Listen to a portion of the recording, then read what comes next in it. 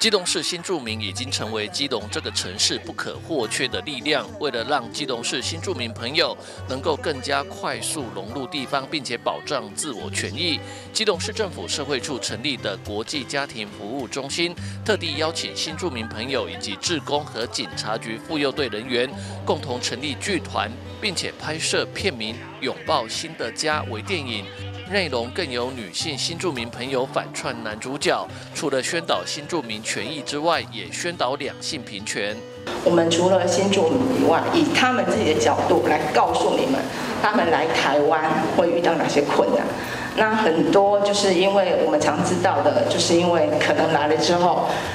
家人都怕他们到外面交了很多朋友。之后会可能会有带来一些不好的一些负面的或什么，所以常常会把他们的身份证就给他们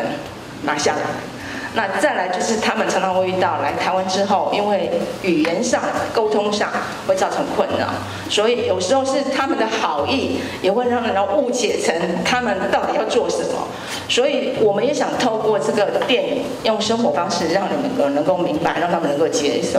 那所以我们。这个电影上面在演出，我们都是请那个所谓的他们新作品自己来演出。那我们也打打破，因为我们是妇幼及求助课嘛，所以大家都知道，所以我们一直在推性平，所以我们也打破了这个性平的观念。所以我们在所谓的男女主角里面，就不会特别说一定强调所谓的男主角一定要男生，所以我们也用一个另外一种思考方式，请我们的。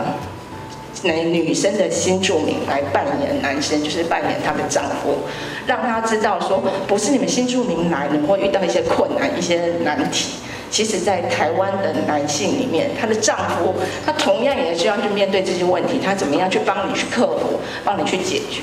社会处方面表示，未来规划让这个剧团也可以进到学校以及社区里面进行宣导，扩大宣导的范围。记者吴俊松机动报道。